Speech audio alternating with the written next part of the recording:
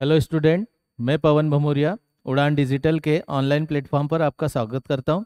आज हम इले करंट इलेक्ट्रिसिटी फिजिक्स का चैप्टर नंबर टू है। उसके कुछ मैच द कॉलम सही जोड़ी के क्वेश्चन देखेंगे। तो हमारे पास पहला क्वेश्चन है। इसमें आपको पाँच, खंड ए और खंड बी में पाँच पाँच ऑप्शन दिए। तो इसमें सेक्शन ए और सेक्शन बी में फाइव फाइव ऑप्शन है। तो हम इनको मैच करेंगे। पहला क्वेश्चन हमारा है विडस्टोन सेतु का सिद्धांत किस पर आधारित है? तो अगर हम देखें तो Wheatstone Setu principle of Wheatstone bridge is depend on metre bridge तो ये फ़र्स्ट ऑप्शन हमारा जो होगा, वो होगा मीटर ब्रिज तो यहाँ पर भी हम इसको मैच कर देते हैं।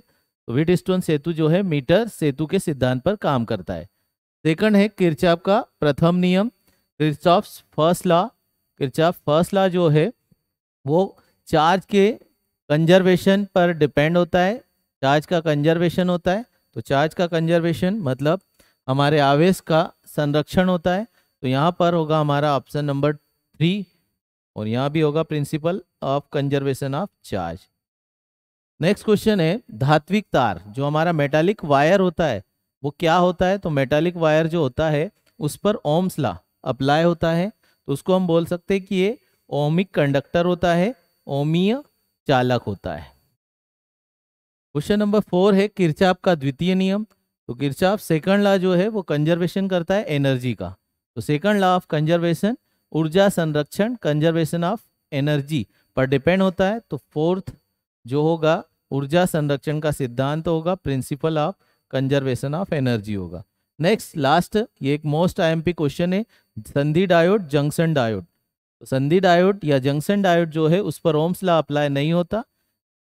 इसलिए इसको हम अनओमिक चालक या अनओमिक ये नॉन रेजिस्टिंग कंडक्टर बोलेंगे। तो ये हमारा मैच हो गया है पहला पेयर सेकंड देखते हम।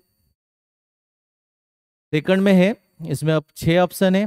पहला है धारा, दूसरा धारा घनत्व, तीसरा प्रतिरोध, विशिष्ट प्रतिरोध, चालकता nichrome current current density resistance specific resistance conductivity and nichrome तो फ़र्स्ट देखते हैं धारा।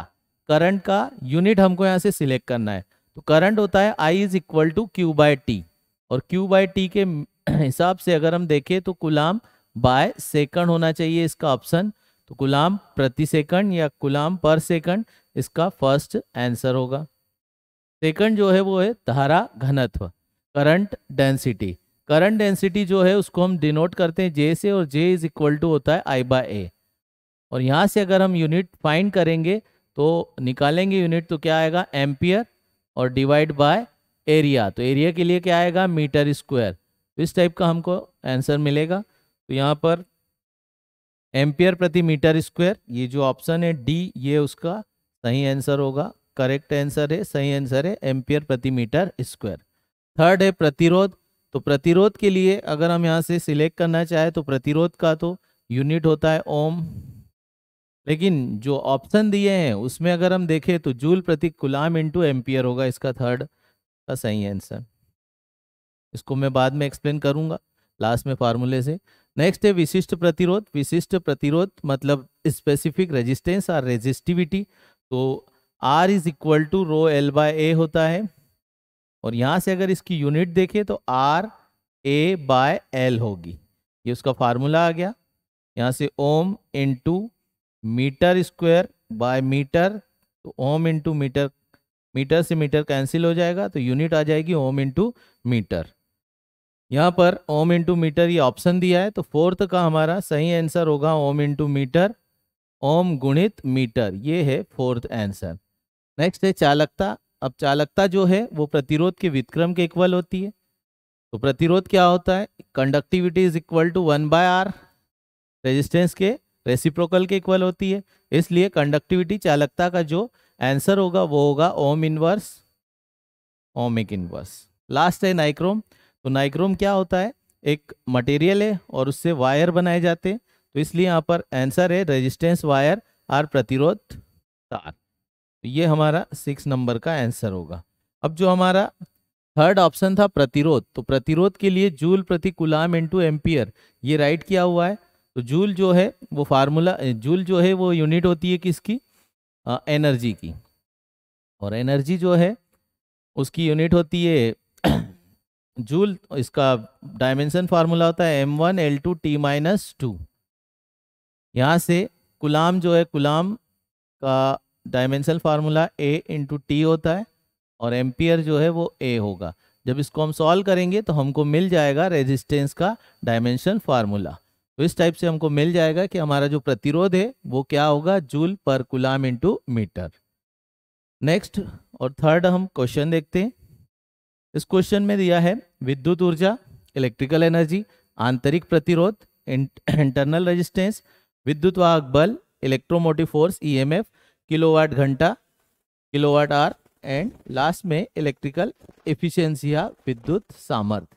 विद्युत ऊर्जा जो है, उसकी अगर हम बात करें ऊर्जा का फार्मूला होता है।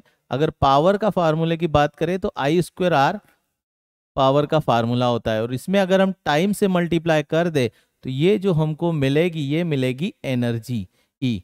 तो फ़र्स्ट जो इलेक्ट्रिकल एनर्जी है, उसका हमको फार्मूला मिलेगा I square into R into T तो यहाँ पर भी हो जाएगा I square R into T next है इंटरनल रेजिस्टेंस रेजिस्टेंस होता है इंटरनल रेजिस्टेंस और वो जो है उसका भी यूनिट ओम होता है तो यहाँ पर आ जाएगा ओम।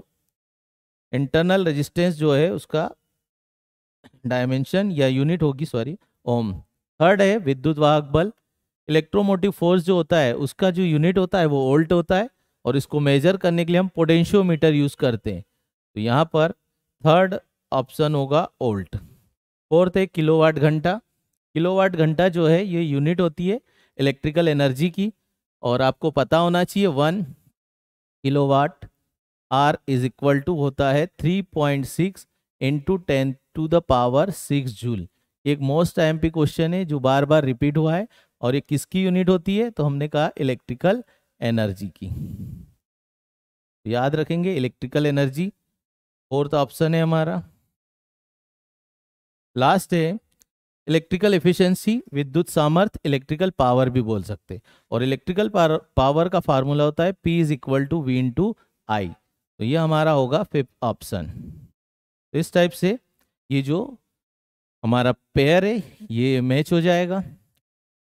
Thank you